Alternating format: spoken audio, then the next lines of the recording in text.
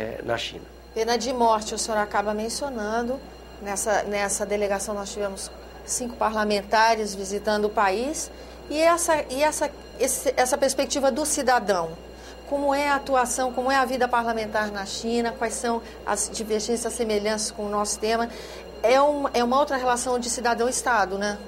É, a, a China ela vem se modificando muito e muito rapidamente desde 1978, quando eles fizeram a abertura econômica e passaram a adotar o que eles chamam de socialismo de mercado ou de socialismo com características chinesas.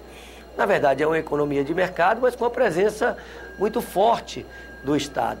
Uma presença no planejamento e uma presença na posse de alguns meios de produção, especialmente a terra. Neste momento, a China está num grande esforço de urbanização, mas ao contrário do Brasil, uma urbanização planejada, porque embora seja a segunda economia do mundo, é, a renda per capita do chinês ainda é baixa, é bem mais baixa que a do brasileiro. Ali está gravitando em torno de 4 mil dólares por ano, enquanto a, a, a renda per capita do brasileiro ali está em torno de 10 mil dólares é, por ano. Então esse é um grande desafio, é melhorar as condições de vida do conjunto da população. Eles estão tendo sucesso, mas sabem que tem grandes desafios a enfrentar. O sistema político chinês é um pouco diferente do nosso. Eles têm uma Assembleia Nacional Popular, que se reúne uma vez por ano, que tem em torno de 2.900 deputados. Tem as assembleias também provinciais, as assembleias locais, mas também o Partido Comunista da China exerce uma influência muito grande. Tem mais de 60% da composição da Assembleia Popular, embora haja um conselho de representantes que é parecido com o Senado, embora não tenha direito a voto, mas ali onde sentam os nove partidos existentes na China, onde discutem os grandes temas importantes para o país e definem metas do desenvolvimento do país.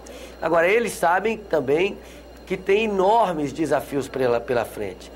É, sabem, é, uma preocupação grande é com a segurança alimentar.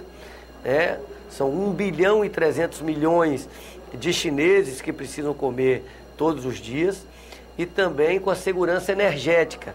É um país ainda muito dependente do carvão e do petróleo. É, por isso veio no Brasil um parceiro estratégico, como grande produtor de alimentos e de energia.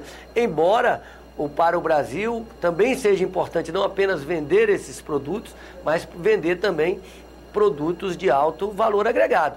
Para isso é muito importante que o país também invista em inovação tecnológica. Então, para finalizar a nossa entrevista, então uma iniciativa como essa recente, divulgada pelo governo federal do Plano Brasil Maior, que vai passar ainda pelo crivo do Congresso Nacional, que enfatiza a questão tecnológica da inovação, né, senador? É um passo importante? Sem dúvida, o Plano Brasil Maior é um passo importante, mais pelo fato de desonerar algumas, algumas atividades industriais que são muito intensivas em mão de obra e que estão enfrentando muita dificuldade, muitas dificuldades em concorrência, na concorrência com a própria China, como é o setor de, de calçados, o setor de confecções e o setor de imóveis, do que pela inovação tecnológica.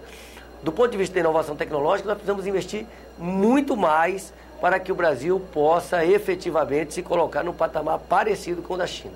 Senador, obrigada pela sua entrevista. A você que nos acompanha também, muito obrigada pela atenção. Eu sou Tânia Horman, falando para a TV Senado, Rádio Senado e as suas conveniadas. Se você quiser entrar em contato conosco, nos ligue 0800 61 22 11. Se você quiser nos escrever, www.senado.gov.br/tv.